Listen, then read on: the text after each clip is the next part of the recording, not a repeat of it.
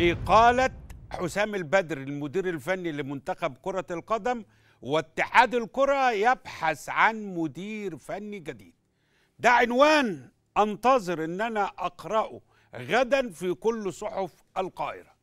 غير كده يبقى إحنا بنهزر لأن ما ينفعش أكون جايب مدير فني لمنتخب كبير زي منتخبنا تصنيفه في الثلاثينات أو الأربعينات. يلاعب فريق تصنيفه 140 اللي هو منتخب جزر القمر اللي كل سكان جمهورية جزر القمر كانوا حاضرين النهارده في الاستاد. عدد سكان جزر القمر 850 ألف. طبعا مباريات كرة القدم لا تقاس بعدد السكان لكن هل يعقل إن إحنا مش قادرين نعدي كينيا وجزر القمر وعايزنا يا قمر نروح ننافس على كأس أفريقيا؟ هل ده ينفع؟ حسام البدري هناك فرق بين إدارة إدارة فنية لاحدى أو أحد فرق أندية الدوري الممتاز وقيادة منتخب.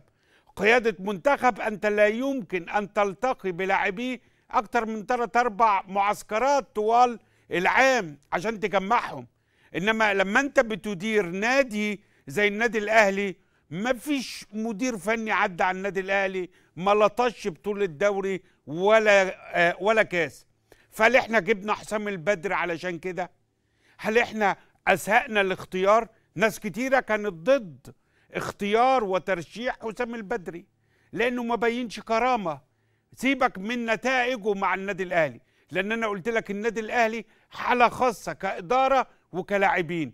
لكن النهارده انت عايزني استنى فضيحة بعد فضيحة كينيا وجزر القمر مفيش لا خطة مفيش إدارة ملعب مفيش توجيه لاعبين.